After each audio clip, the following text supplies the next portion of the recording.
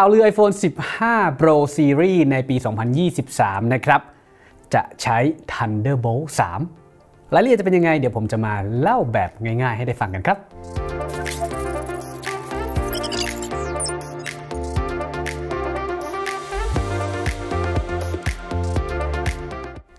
สวัสดีครับ ผมต้อมไอมดนะครับผม เราได้โพสต์ข่าวล่าสุดออกไปนะครับผมเป็น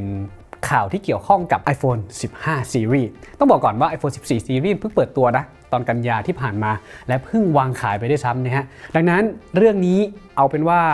เล่าให้ฟังกันก่อน ไม่ต้องคาดหวังอะไรกันมากแล้วกันนะครับผมข่าวต้นเรื่องนี่มาจากนักวิเคราะห์ท่านหนึ่งนะครับ ชื่อมิงชีเคนะครับซึ่งเป็นคนที่ปล่อยข่าวเรื่องนี้ออกมาบ่อยอยู่ละสำหรับการคาดการ iPhone นะครับสรุปรอบนี้เขาว่ายังไง เขาบอกว่า รุ่นนี้จะเปลี่ยนเป็นพอร์ต USB-C และสเปคของพอร์ต USB-C นั้นจะใช้ Thunderbolt 3 อะโอเค ใครฟังอยู่ตรงนี้แล้วอาจจะสงสัย Thunderbolt 3 คืออะไร พักไปก่อนครับ อะพักไปก่อน เดี๋ยวเรามาอยู่ตรงปัจจุบันกันนะฮะว่า USB-C ที่ทาง Apple ใช้นี่มีอะไรบ้างสำหรับอุปกรณ์ iDevice นะครับ ตอนนี้มีใช้ทั้งหมดอยู่ 3 เวอร์ชันนะ กับ iPad iPad รุ่นเริ่มต้นคือ iPad Gen 10 นะฮะ ล่าสุดที่เพิ่งใช้ USB-C นะฮะ แต่ว่าตัวนี้จะเป็นสเปคต่ำสุดเลยนะครับผม สเปคกลางต่อมาเป็น iPad Air รุ่นที่ 5 ครับ และสเปคสูงสุดเป็น iPad Pro Series นะครับ ทั้ง M1 แล้วก็ M2 ก็แบ่งเป็น 3 กลุ่มเนาะ เริ่มต้นกลางสูง คราวนี้สเปคของเริ่มต้นนี่เป็นยังไง หน้าตาเป็นพอร์ต USB-C เหมือนกันนะ แต่ความเร็วจะแตกต่างกันครับ ฝั่งของ iPad รุ่นที่ 10 ครับ USB-C ตัวนี้เป็น USB 2.0 ครับนะฮะอัตราการโอนถ่ายข้อมูลจะอยู่ที่ 480 เมกะบิตต่อวินาทีนะครับผม หรือว่า 0.4 กิกะบิตต่อวินาที ผมจะตีให้เป็นหน่วยเดียวกันจะได้เห็นภาพง่ายๆนะครับ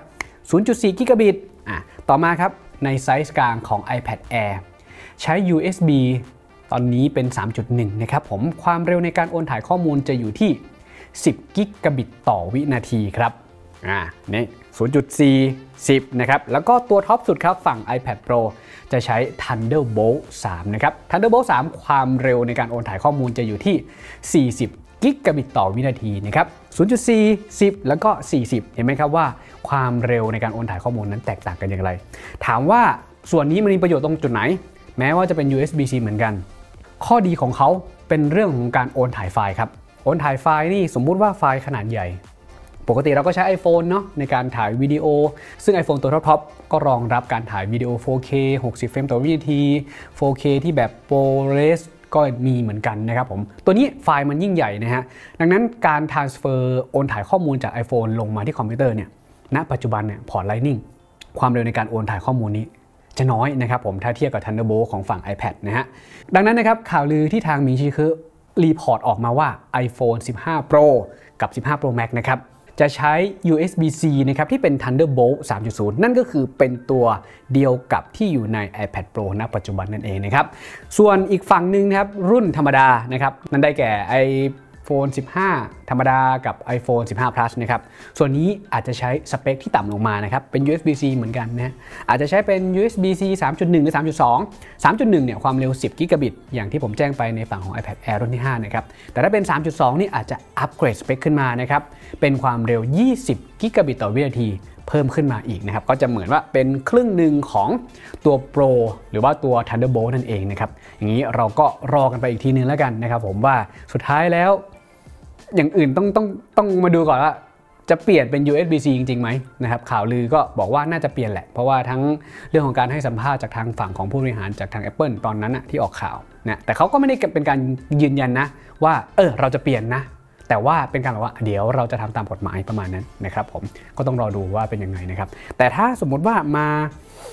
ในรุ่นกลางในรุ่นเริ่มต้นของ iPhone 15 กับ 15 Plus แล้วใช้ USB-C สเปคของ iPad Gen 10 นี่ผมก็ก็ไม่ไหวนะ ความเร็วในการโอนถ่ายข้อมูล 480 เมกะบิตเนี่ยก็ถือว่าช้าอยู่อะยังไงก็เอาไป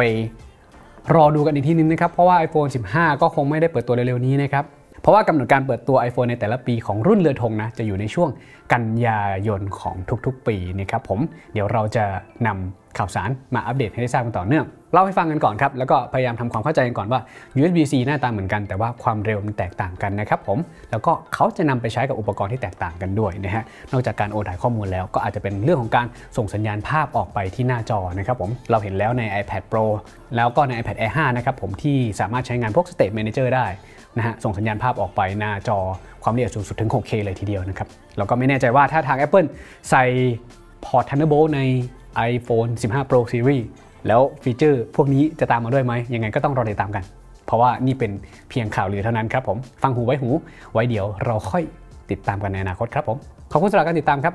ผมต้องไอ้มดขอตัวลาไปก่อน สวัสดีครับ